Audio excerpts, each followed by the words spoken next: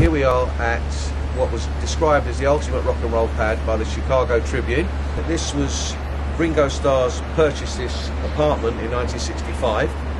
He purchased, it was the ground floor and the basement, and he lived here with Maureen, and this was Zak's first home.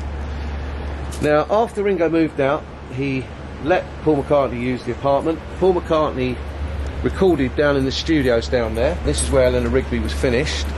After Paul moved out, in came the storm and the hurricane of Jimi Hendrix and Chas Chandler with their girlfriends Kathy Mary Etchingham and Lotta. And Jimi painted the apartment black, worshipped the occult, made a noise. The neighbours complained to Ringo. He had to get rid of Jimi and Chas.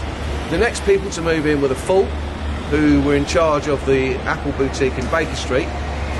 And then when they moved out, John and Yoko in 1968 moved in.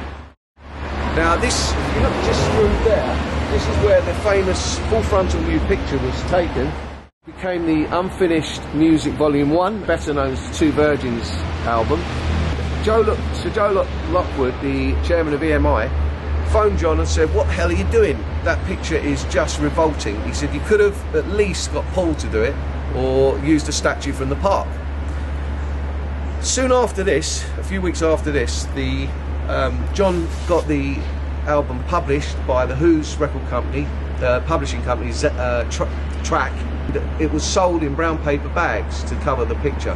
Now, a few weeks after this, the apartment got busted by Sergeant Norman Pilcher and his squad, and John was was done for possession of cannabis was tried in Marylebone Magistrates Court, was found guilty.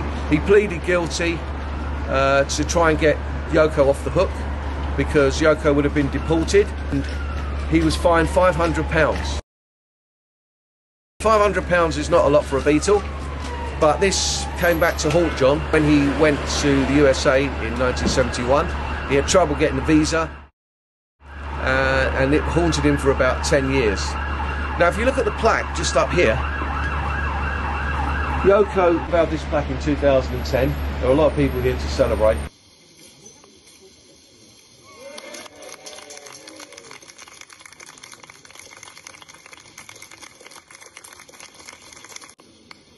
You very much. Have a great day, and I love you very much. I've often wondered the classics John would have written in the last 40 years. I'm sure there would have been several as he was a rock and roll genius.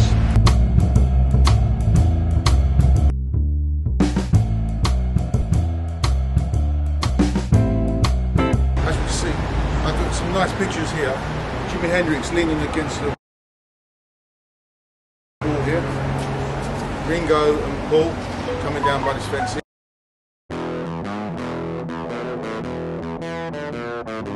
John and Yoko. Jimi Hendrix here. Also, a famous picture of Jimi Hendrix on that, leaning against the fence over there. And the Montague Place sign was originally on the fence. They had to put it up behind the wall there.